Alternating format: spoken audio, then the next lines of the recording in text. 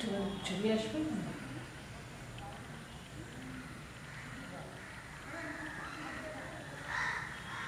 flash flash দিয়ে তোলো flash